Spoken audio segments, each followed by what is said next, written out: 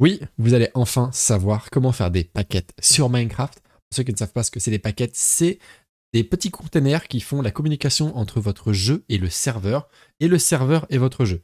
Par exemple, si votre joueur a un titre, par exemple Kinderkill le professionnel, bah, il va falloir trouver un moyen pour que votre jeu l'envoie au serveur, pour que le serveur l'envoie à tous les autres joueurs, pour que tous les autres joueurs puissent savoir que Kinderkill est un Euh, c'est un petit peu avancé quand même. On a des notions d'interface, de classe abstraite, de généricité, ça se dit, oui. Euh, donc voilà, si vous débutez vraiment le Java là maintenant et que vous avez du mal encore avec la notion ne serait-ce que d'objet ou de statique, etc., je vous invite à travailler un petit peu plus le Java avant de faire cette vidéo ou alors de regarder d'abord cette vidéo, vraiment la mettre en plein écran, de prendre des notes et après de la re-regarder une nouvelle fois. Donc bref, accrochez-vous, mettez cette vidéo en plein écran, prenez un petit bloc-notes, une petite bouteille d'eau et on va faire ça ensemble, comme je vous l'ai dit, c'est la fameuse vidéo des paquettes. Et vous allez voir que j'ai fait les choses bien, donc la moindre des choses, s'il vous plaît, c'est de cliquer sur le petit pouce, c'est gratuit, de vous abonner si ce n'est pas déjà fait pour être tenu au courant bah, de la suite de ces vidéos et de la suite des vidéos que je compte faire. Et euh, de mettre un petit commentaire, ça serait très gentil pour me dire ce que vous en avez pensé de la vidéo, si ça marche pour vous. Et voilà, tout simplement pour me remercier si vous êtes content de cette initiative. On part de zéro sur MCP et on fait ça tout de suite.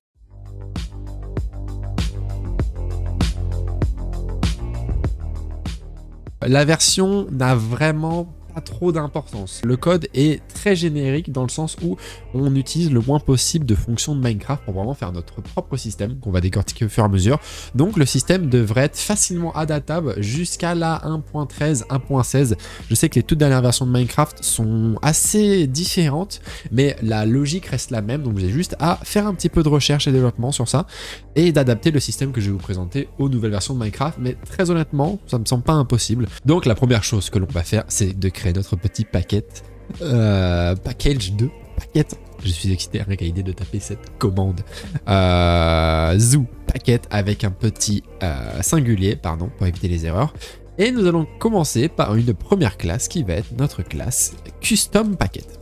Euh, ce qu'on va faire en fait, c'est euh, qu'actuellement dans Minecraft, ce qui est chiant, c'est que chaque paquet donc, euh, est enregistré individuellement. Paquet quand le joueur se lève, paquet quand le joueur touche à son inventaire, paquet ci, paquet ça, etc. etc. ce qui rend la tâche très compliquée quand vous voulez porter votre projet ou l'enregistrer, c'est chiant, etc. Donc ce qu'on va faire, c'est qu'on va faire un paquet principal générique qui lui va lire ce qu'on va appeler des data, des paquets de data ou des data.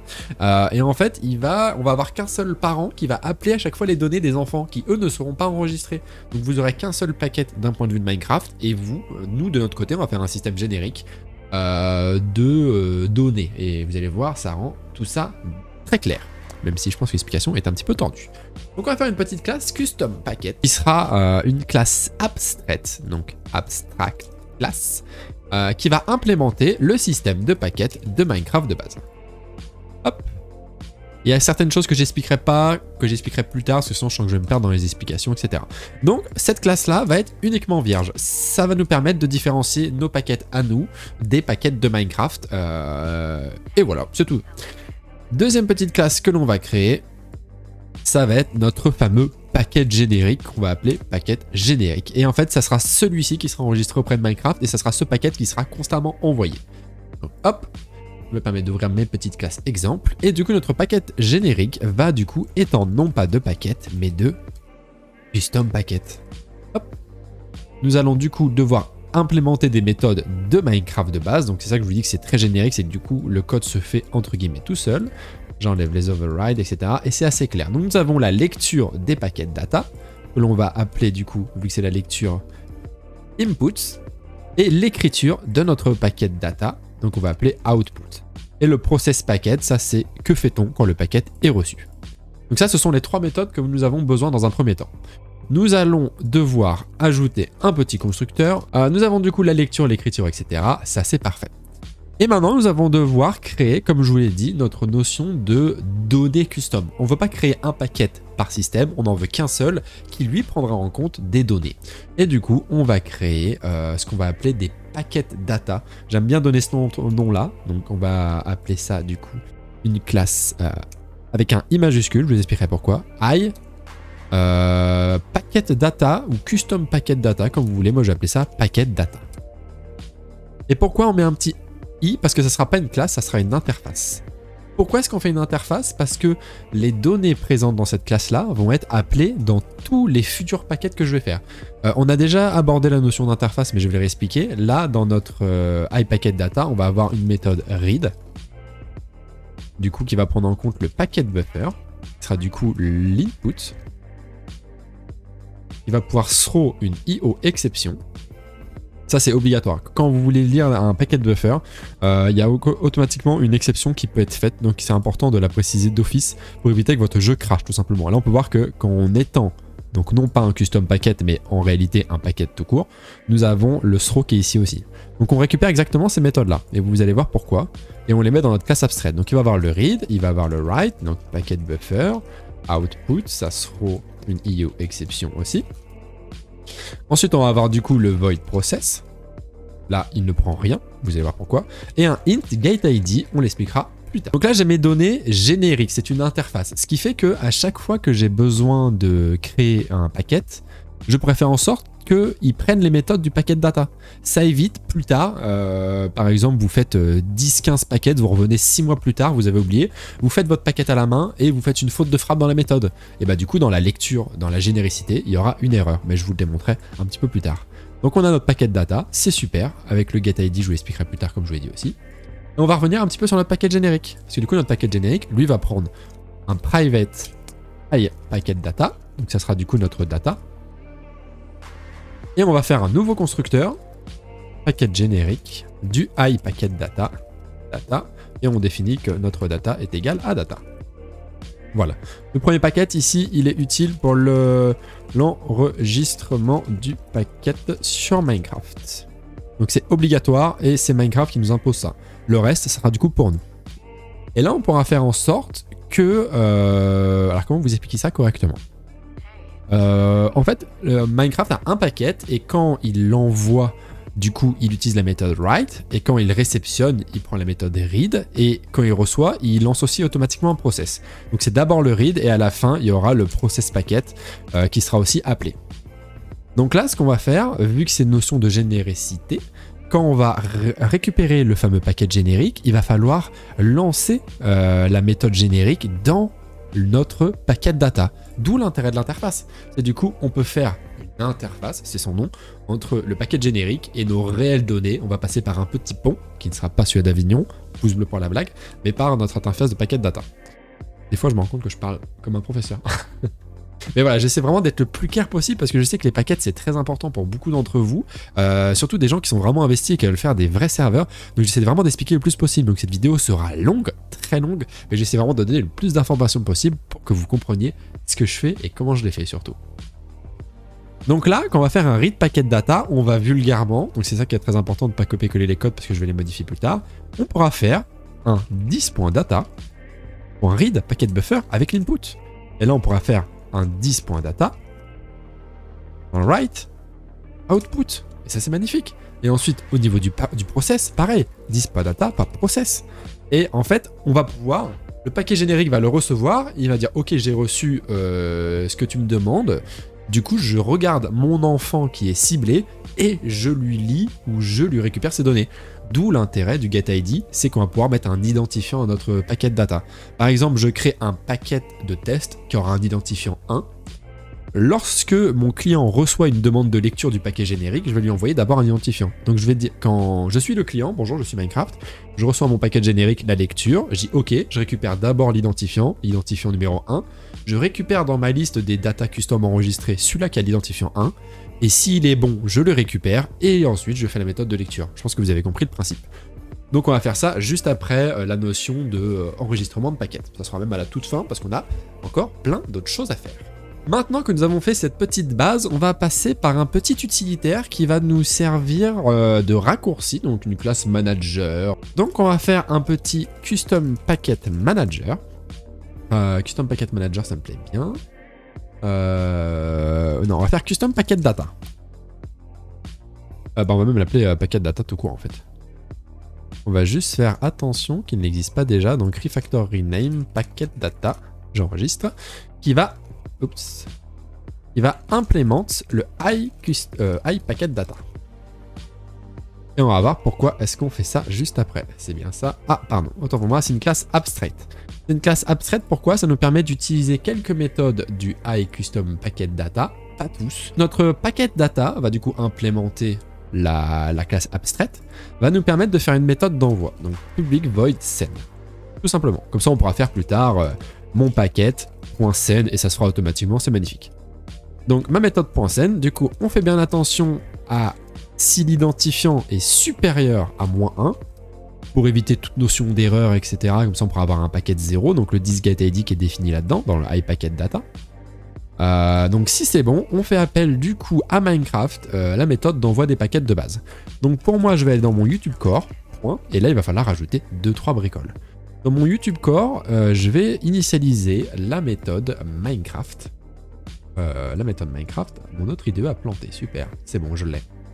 on va ajouter deux nouvelles petites variables, donc il y public public statique final Minecraft, ce qu'on appelle un Minecraft en majuscule, qui sera égal à Minecraft.getMinecraft. Pourquoi est-ce que je fais ça et que je fais pas directement le Minecraft.getMinecraft C'est que j'aime bien avoir un petit utilitaire qui regroupe un peu à la méthode de Forge pour vraiment gagner le plus de généricité possible, comme je vous l'avais dit. Et un public statique final iNetClient, ça, ça provient de Minecraft aussi, on va l'appeler NetClient, qui sera égal à, du coup, euh, new iNet. Ah bah non, c'est à moi ça. Oula, j'étais un peu trop vite. Donc voilà, j'aime bien faire ça séparément pour éviter de faire Minecraft.getMinecraft, etc. Ça me permet d'avoir juste besoin, par exemple, si ils ont déjà fait ça, c'est pour ça que je vous le dis. Euh, dans certaines versions, c'est pas Minecraft.getMinecraft pour récupérer l'instance, c'est Minecraft.getInstance. Donc imaginez que vous, dans vos codes custom, vous avez fait votre Minecraft.getMinecraft partout, et d'un seul coup, ça se transforme en getInstance et il faut tout changer, c'est relou. Euh, donc c'est bien de déclarer notre petite variable Minecraft au préalable. Euh, donc voilà, je vais remplacer ça ici, et c'est parfait. Et du coup, dans notre paquet data, je peux faire un YouTube core.minecraft. Euh, on va retrouver ça. Get net Pourquoi il Get net pour récupérer du coup le gestionnaire euh, de net, donc le gestionnaire de serveur, c'est en gros le gestionnaire, euh, le réseau de Minecraft qui va nous permettre du coup d'ajouter des paquets. Add to send queue Oh là là, Eclipse, on fait une faute, euh, on n'a pas le droit d'erreur. Hein. Donc là, on ajoute à la liste d'attente pour être envoyé sur notre réseau, du coup, un nouveau paquet générique. Et qu'est-ce que prend le paquet générique? Il prend un iPacketData, donc je peux directement envoyer 10, l'objet, du coup, euh, mon paquet de data. Et vous allez voir plus tard comment on l'utilise. Mais en gros, nos paquets utiliseront ces méthodes-là. Euh, ça, c'est bon. Et vous savez quoi, c'est cadeau, je vais déjà le mettre. non, je le mettrai plus tard. Donc là, on va mettre un to-do read string et on le reverra plus tard. Donc ça c'est bon, ça c'est bon, ça c'est bon. Et du coup je me suis peut-être un peu trompé. C'est bon, j'avais juste mal enregistré mes autres classes, mais tout est bon. Si on bien que c'était perturbant. Et maintenant on va passer à la classe euh, qu'on va appeler Registery, qui elle va enregistrer tous nos futurs nouveaux paquets. Euh, data, on va appeler ça des, data. Donc je vais faire une nouvelle classe et je vais l'appeler euh, Custom. Parce que paquet, paquet registry, je crois que ça existe, quoique paquet registry, c'est tout bon. On va appeler ça paquet registry. Qui sera un enum un énum, vous savez comment ça marche évidemment. On va avoir du coup une valeur, des parenthèses, une virgule ou un point virgule si c'est la dernière itération. Pour éviter tout type d'erreur, j'aime bien mettre une virgule et à la ligne mettre le point virgule. Ça j'ai juste besoin de rajouter mes valeurs euh, et il n'y a pas d'erreur de ah la virgule était avant, la virgule était d'après. Euh, du coup, on va faire un paquet registry qui sera le nom de ma classe. Et on va faire une méthode statique, public statique, euh, public statique, public statique, public statique. Euh, je vais la faire après, sinon je risque de vous perdre. Donc mon enum euh, me permet d'enregistrer mes données custom que je vais faire passer par mon paquet générique. Donc je vais avoir une variable de texte qui va comporter un ID, comme je l'ai dit tout à l'heure, un identifiant, mais qui va aussi avoir besoin d'une classe qui va être du coup la classe de mes paquets. Donc ici dans mon paquet, je vais créer un nouveau paquet, je vais l'appeler .1p, 1pl, 1mpl.implémentation. Euh, ou après vous pouvez l'appeler du nom que vous voulez. Hein. Et à l'intérieur, je vais faire mon premier vrai paquet officiel qui sera du coup un paquet de tests et je vais l'appeler data test. Ma classe data test va être extend de, extend de, cust, euh, de paquet data. Après, vous pouvez nommer ça comme vous voulez. Hein. Si paquet data vous perturbe, vous pouvez taper paquet générique data, custom data, vous pouvez les appeler comme vous voulez. Comme je l'ai dit, je vous donne la structure. Après, vous faites comme vous voulez. Donc j'ajoute paquet data et vu que paquet data est implémente euh, l'interface packet data, il va me forcer à utiliser les méthodes. Et les méthodes, ça va être quoi? Ça va être le read, write, process et get ID. Ça j'enlève, ça j'enlève, ça j'enlève, ça j'enlève, ça j'enlève, ça j'enlève. Et il va avoir le get ID qui va être important. Le get ID qui va être l'identifiant du coup du paquet, l'identifiant qui va être le même que dans packet registry. Donc si ici je mets 0, il faut que data test soit aussi égal à 0.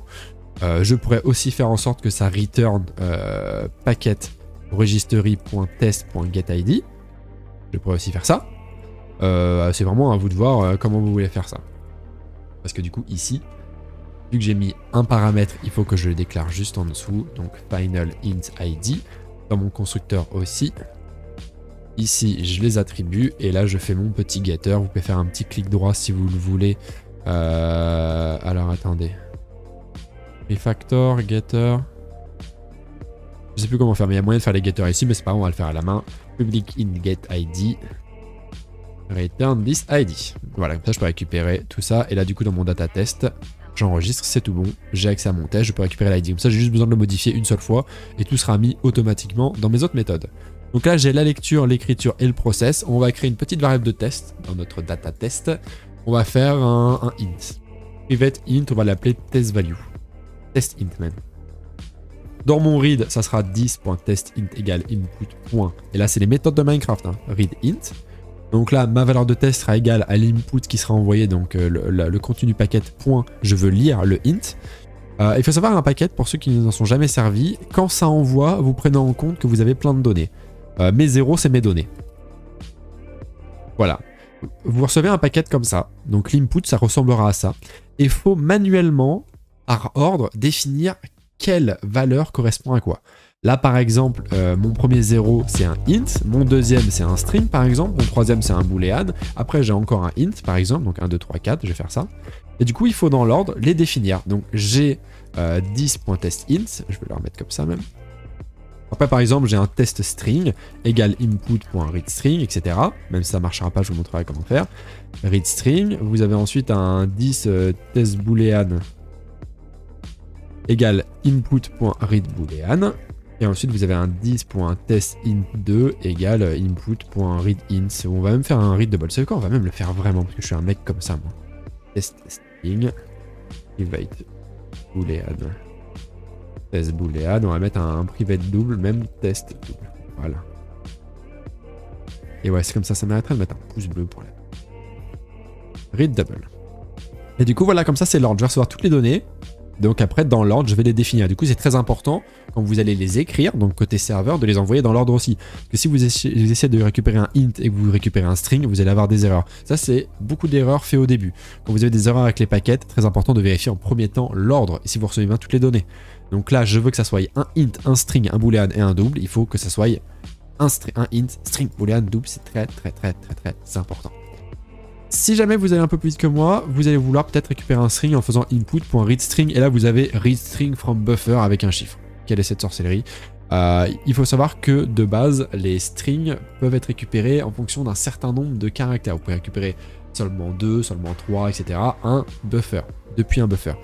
Vous pouvez soit le mettre à la main, le chiffre max, qui permet de récupérer n'importe quelle chaîne de caractères, donc 32 767, ce qui n'est pas très pratique, on va être honnête.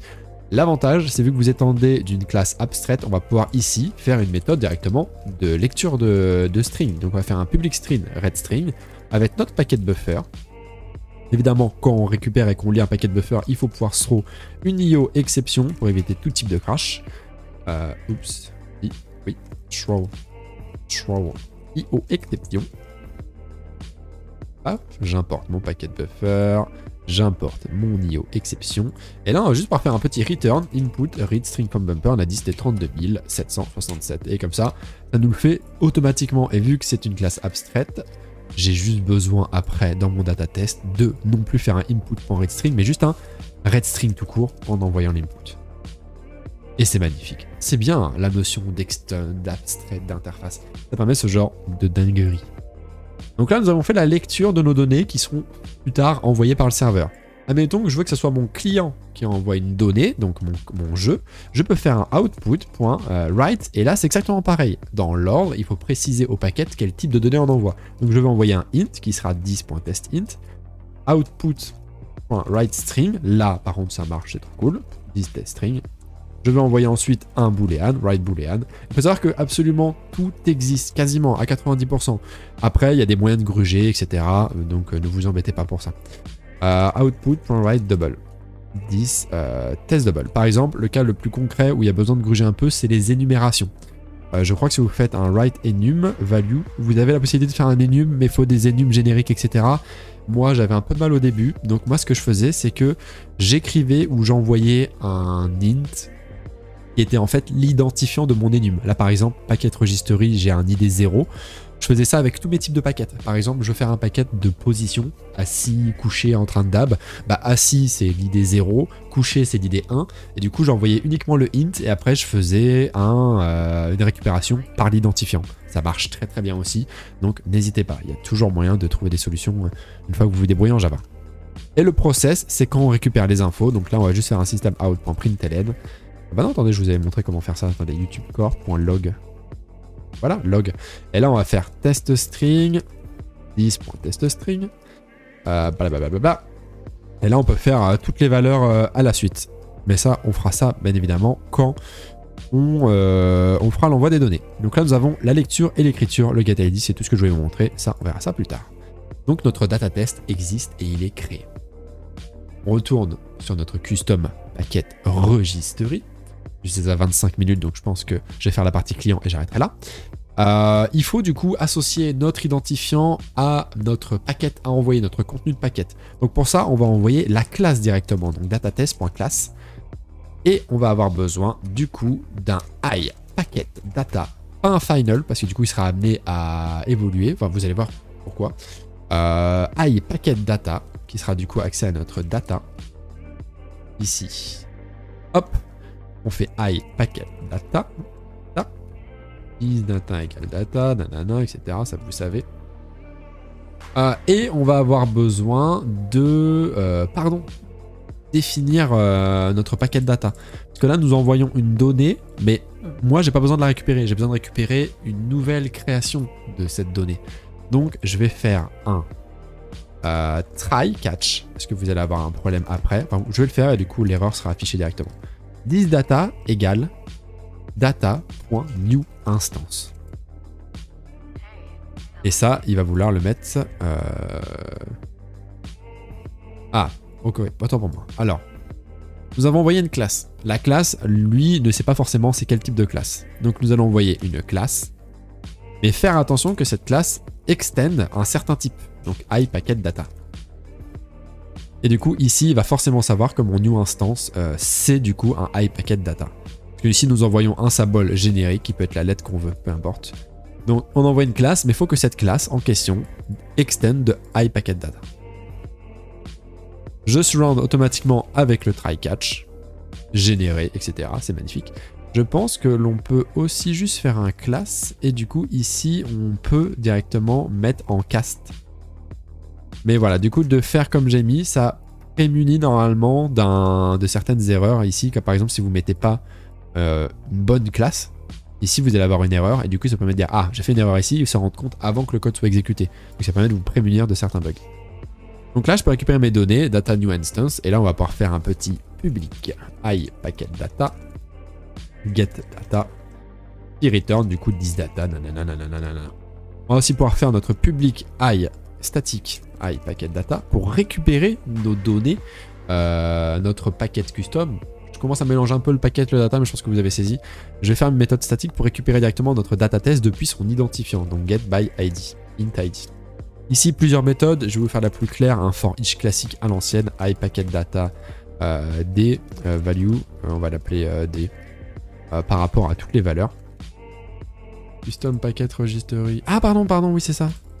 En fait, c'est pour toutes les valeurs de mon énumération. Donc pour toutes les, euh, pour toutes les valeurs de mon, mon, énumération, donc V. Donc là, du coup, je les récupère toutes. Donc je récupère vulgairement cette ligne-là.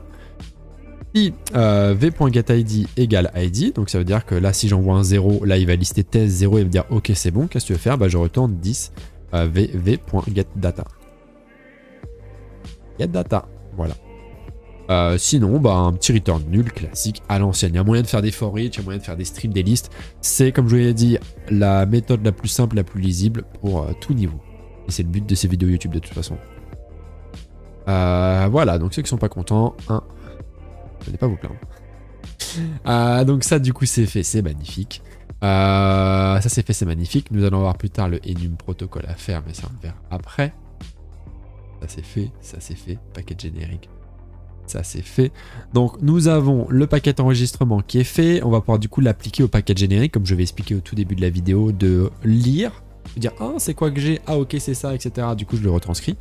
Donc on va faire dans la lecture, euh, comme j'ai expliqué dans le data test, ça va être super pratique. Je récupère un ID, donc int euh, data ID, qui sera égal à input.readInt, donc qui sera très très important côté serveur d'envoyer tout le temps l'identifiant du paquet en premier. If euh, non, on va faire un petit 10 euh, paquets égale 10 euh, data, pardon. 10 data égale custom data packet registry, je l'ai appelé. Mais en fait, ça serait plus. on va le renommer en packet data registry, puisque ça me perturbe un peu ça. Packet data registry. Clic droit, refacto, rename si vous voulez changer ça et qu'automatiquement ça le change partout. Et si vous faites juste un rename classique, vous aurez beau changer tout à la main. Donc là, on fait en sorte que notre data soit égale au paquet data registry.getById data ID. Hein. Vous aurez directement pu mettre en sorte le input à l'intérieur. Comme ça, si vous avez une erreur, ça vous listera bien la ligne 22 et du coup, vous ne saurez pas si c'est est-ce que c'est mon data, est-ce que c'est ça, est-ce que c'est la méthode, etc. Donc c'est mieux de séparer comme ça. Et là, si le 10 data est différent de nul, alors je... Euh, ok, j'ai une duplication de ligne alors dans ce cas, je fais la lecture. C'est aussi simple que ça. Et sinon, bah ça veut dire qu'il y a eu un problème, etc. Blablabla. Donc j'aime bien toujours faire cette méthode-là. Si c'est différent de nul, ça veut dire si le paquet a été trouvé, je valide la lecture, plutôt que l'inverse, faire un égal égal nul return. Pourquoi? Parce que on sait jamais pourquoi le code déciderait que euh, il ne trouve pas. Ou au contraire, qu'il soit en mode ok c'est pas nul mais en même temps j'ai pas le bon paquet et je veux le lire, bah en fait vous aurez une erreur plus loin. Donc je préfère toujours faire ce, sens là. Et sinon, on va mettre une petite erreur à la main, donc youtubecore.getLog. Euh, erreur lors de la lecture du paquet générique ID euh, data data ID. Hop, hop, hop, et là je fais un petit euh, data ID. Voilà, comme ça vous aurez une erreur lors de la lecture. Pour l'écriture, c'est exactement pareil. on va faire cette fois-ci la demande, parce que du coup, iPacketData, il y a une méthode getID, vous vous souvenez. Donc if euh, bah non, parce que du coup, j'écris forcément, donc il n'y a pas besoin de faire ça. Donc j'envoie, donc output.writeInts, j'envoie du coup le 10.data.getID. Et ensuite, je fais appel à la méthode du data pour rajouter à mon paquet tout ce que j'ai notifié ici. En fait, ça va marcher comme ça. Vous avez un paquet générique qui va préécrire l'identifiant et il va rajouter euh, le, write pourrait s'appeler par exemple add to, euh, vous aurez pu changer de méthode, mais en gros j'écris ça, je rajoute toutes les méthodes de mon data test et à la suite j'envoie le paquet avec ma méthode .send. Euh, c'est l'intérêt en fait de, des, notions d'interface et d'abstract, c'est de faire ce, rajout, si je veux essayer de vulgariser la, chose le plus possible. Donc tout ça c'est fait, tout ça c'est fait. Maintenant, il va y avoir un truc un petit peu tricky à faire. Ça, c'est la méthode qui va être un peu chiant pour euh, la, euh, la, portabilité. Euh, c'est, il faut faire appel aux une. Ah bah, je vais vous faire en fait en tant que tel. Donc, si 10 data est différent de nul, ça veut dire le process packet, c'est quand on reçoit une donnée du packet, on vérifie si les données custom ont été trouvées. Est-ce qu'il y a un data test, par exemple, qui a été trouvé? Si c'est le cas, on va bien évidemment process ce paquet. Mais il va falloir faire quelque chose, c'est qu'il va falloir checker euh, via un utilitaire de Minecraft pour éviter tout ce qui est notion de spam, peut-être triche, je crois. Il y a une méthode utile qui permet d'envoyer le paquet en, attente de traitement, on va dire, pour compléter ou non euh, le code. Donc ici, on va faire appel à la méthode en 1.8 qui s'appelle packet thread utile. Euh, si vous ne l'avez pas, je vais essayer de faire un truc pour vous. Euh, si vous n'avez pas cette méthode, allez dans net.minecraft.network euh, et elle est appelée aussi, je vais vous dire quoi, comme ça en même temps vous pourrez, euh, vous, si vous êtes par exemple pour 1.18 ou plus, essayer de retrouver son équivalent, parce qu'il y a tout le temps des équivalents. C'est d'ailleurs une chose que je conseille quand, je voulais, quand vous voulez porter des, des, versions de Minecraft qui, avec des méthodes qui ont changé, c'est que vous regardez avant où est-ce qu'elles ont été appelées. Et c'est très utile. Par exemple, là on peut voir que dans Net Client, Net Handler Client, elle est appelée plein de fois. Vous pouvez voir qu'à chaque fois qu'il y a un paquet, elle est appelée.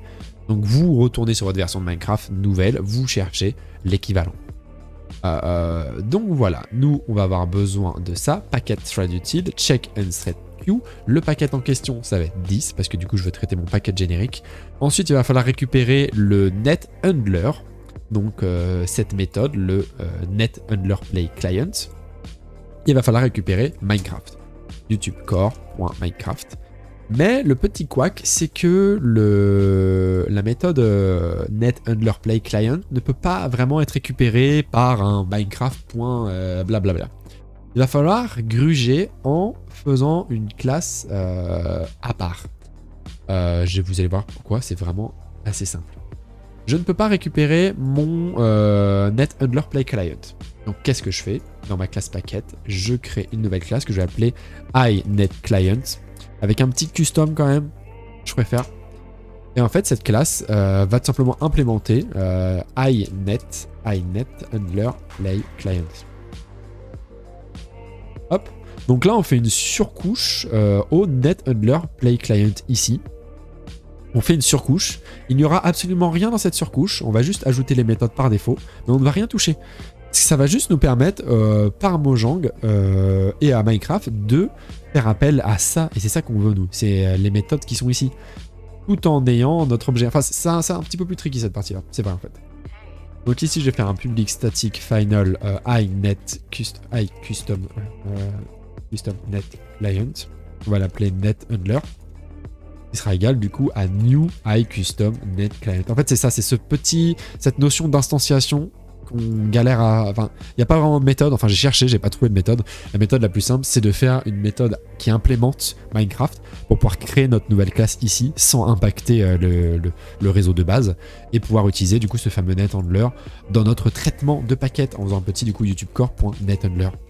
J'espère que j'ai été clair. Sinon, n'hésitez pas à repasser, euh, à repasser cette vidéo, hein, cet extrait. Donc là, je check et après, je fais mon process de mon data et c'est magnifique. Donc j'ai le process on va reprendre un peu de, zéro. Donc j'ai mon custom packet, comme je l'ai dit, pour pouvoir le, séparer des paquets de base, c'est obligatoire. J'ai ma notion de net client, donc réseau custom pour le traitement. J'ai mon interface pour la lecture, l'écriture, le process et l'identifiant. J'ai mon paquet de data qui permet d'envoyer euh, et de faire mes méthodes utilitaires. Hein. Vous pouvez en faire plus, hein, il y en a pas mal à faire. Euh, j'ai mon enregistrement de données custom et j'ai mon fameux paquet générique. Et du coup, une fois que votre paquet générique est fait, vous n'avez plus rien besoin de faire.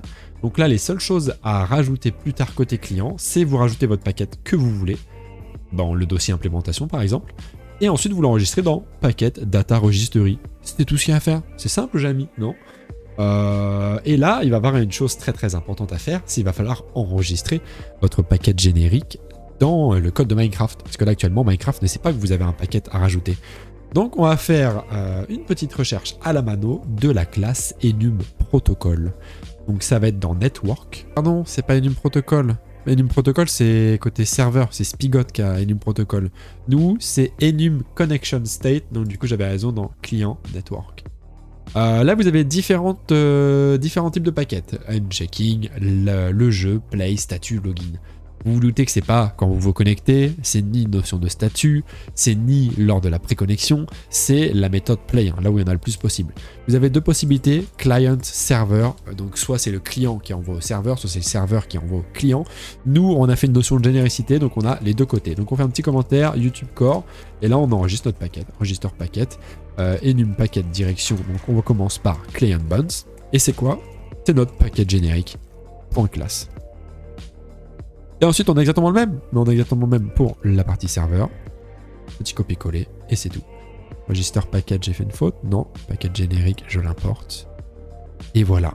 J'ai l'enregistrement de mon paquet. J'ai sa direction, j'ai mon custom packet qui est enregistré, c'est magnifique. Donc ça, j'en ai plus besoin. Ça, j'en ai plus besoin. Data test, j'en aurais sûrement besoin. Packet data, j'en ai plus besoin. Packet data ici, j'en ai plus besoin non plus. Packet générique, j'en ai plus besoin non plus. Et maintenant, si vous voulez envoyer un packet, euh, bah en fait, peu importe la classe où vous êtes, je vais aller sur YouTube Core pour éviter de vous tromper. Vous allez sur YouTube Core, nanana, bref.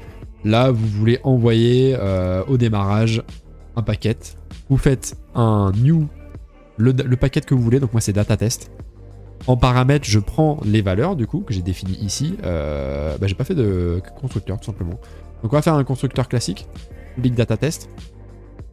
Euh, toujours, et on va faire un public data test avec du coup les valeurs que je veux. C'est mon constructeur pour définir mes objets, et en fait là, je fais mon new data test avec mes valeurs, donc on va faire 10, euh, on va faire hello world, on va faire, on va faire true, et on va faire un double qui sera par exemple 50 99.99D. Euh, j'ai mon nouveau data test que je vais importer. Et maintenant que j'ai mon nouvel objet, donc soit je le stocke, hein, vous faites exactement ce que vous voulez. Je peux faire par exemple ici un data test euh, mon paquet égal. Peu importe comment vous voulez le faire. Et ensuite vous faites juste un mon paquet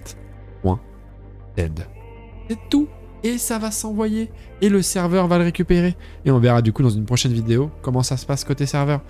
Et euh, après, cette méthode .send, vous pouvez directement la mettre dans la foulée, un new data test .send. Et voilà, c'est tout. Une fois que vous avez suivi cette vidéo, vous avez sûrement galéré à comprendre que vous l'avez revu plein de fois. Vous avez juste besoin de créer votre paquet. Nouvelle classe, extend de paquet data, les valeurs que vous voulez envoyer, les constructeurs, le read, le write, le process, euh, le get ID, très important. Vous l'enregistrez et vous l'utilisez comme vous voulez. Euh, et c'est magnifique. Alors du coup, si jamais vous voulez faire un paquet uniquement de lecture, du coup le write vous en aurez pas besoin, et ben vous aurez juste besoin d'effacer. Vous effacez ça, vous effacez, euh... bah non du coup vous effacez ça, vous mettez un petit commentaire par exemple euh, read only paquet paquet serveur serveur client, vous voyez. Et si c'est l'inverse, bah vous pouvez simplement juste laisser la lecture vous effacez le contenu du process, vous êtes obligé de le laisser, vous effacez le contenu du read, mais vous êtes obligé de le laisser quand même, et vous mettez un petit commentaire aussi, euh, client, serveur uniquement. Et du coup voilà, mais là c'est une notion de générosité, donc je vous montre tous les cas de figure, parce que vous pouvez aussi avoir un paquet qui a besoin d'envoyer, mais qui a aussi besoin de recevoir. Donc voilà les amis, première longue vidéo. J'espère que j'aurai quand même réussi à la cut un petit peu. 43 minutes de record. Euh, et là, on va passer du coup à la deuxième vidéo dans quelques jours. Écoutez, on se retrouve dans une prochaine vidéo. Comme je vous l'ai dit, n'hésitez pas à laisser un pouce bleu si jamais vous appréciez ce contenu, si ça vous a été utile et si vous êtes content enfin de voir cette vidéo sur les paquettes. Moi, je vous laisse là et j'enchaîne avec la partie de Spigot et plugin.